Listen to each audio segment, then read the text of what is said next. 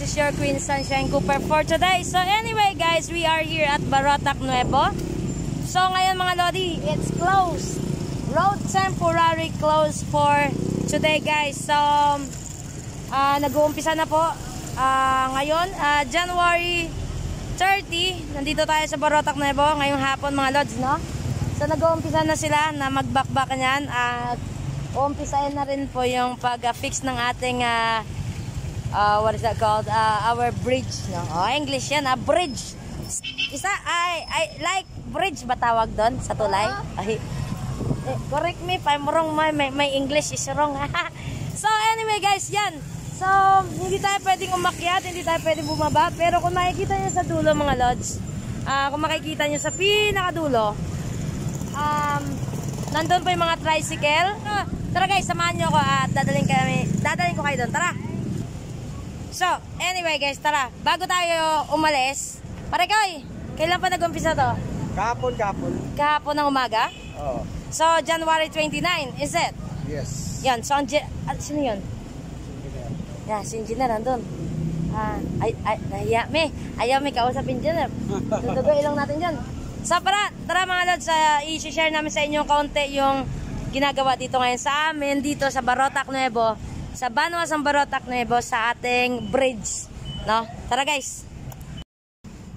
Yan, so makikita nyo guys, bawal po dumaan. Yan po yung, um, ito po yung main natin, yung Banwa San Barotac Nuevo. So, yan po yung old uh, municipal hall, no? Yan po, yan po, dyan po. Yan po yung pinaka-old municipal hall. And police station din po dati dyan. And, yan, uh, what else? Uh, ito po yung aming plaza ng Barota Cuevo. So ngayon mga lods, dadaling ko kayo dito. Tara. Dadaling ko muna kayo dito mga lods, no? So, ang kinocomplain natin before is ang sirang kalsada or sirang um, bridge dito sa Barotac Nuevo. So, kung napapansin nyo mga lods, naumpisa na nila by January 29, umaga po yan. So yan, so hindi ka pwedeng umakyat, hindi ka pwedeng bumaba. So kung pwede lang ho, ang gagawin nyo lang is pwede ho kayong maglakad uh, from Tabok Suba to hanggang dyan lang. Hindi na kayo makakasakay. So hindi na kayo makakasakay kundi lalakarin nyo na talaga mga lodi na. Wala na kayo magagawa kundi maglakad. Yan. So kung napansin nyo, last last year that we're complaining about our bridge, no? At um, if we go past of my video, I, I guess that's uh, uh, last year. Um, nakalimutan kung anong month yon. Pero ang kinocomplain nga natin noon is ito talaga mga lods. Oh. Tingnan nyo. Ayan. Mga butas. Puro butas na po. Ito pong natatakpan ngayon dito is butas talaga yan. May mga butas. Ito napapansin nyo. Ayan, butas na po yan. Ito po yung bridge ng Tabok Suba. From there is yun po yung sa Banwa at dito po ay Tabok Suba. Doon. So ngayon for a while, dito muna yung mga tricycle driver nakaparking sila dito. And sikat dyan din. So kailangan na lang nila bumaba for a while, no? Ayan.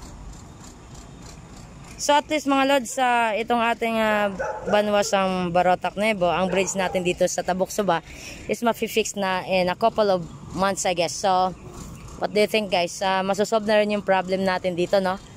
Kasi ito lang po talaga madadaanan nila. For a while, dun muna sila sa kabila, sa main road sila dadaan. Yan. Yo, so anyway guys, I hope na nagustuhan nyo yung ating video ngayon for today, ang ating vlog na konting uh, info lang tayo ngayon at uh, konting updates lang dito sa atin sa Banwasang Barotac Nuevo. Of course here sa ating uh, bridge dito sa Tabok Suba, no? Na si Queen Sunshine, it's been here, no? Dito tayo lumaki sa Tabok Suba. Na? So I'm so glad na mafi-fix na naman nila. And kasama ko right now si Laika mga Lodi, no? Yung aking Janakis. Another ano, Janakis. Yan. So, again guys, I hope you like it. And, yeah. See you in this next video. So again, this is your Sunshine Cooper. And I'm signing out. Peace out.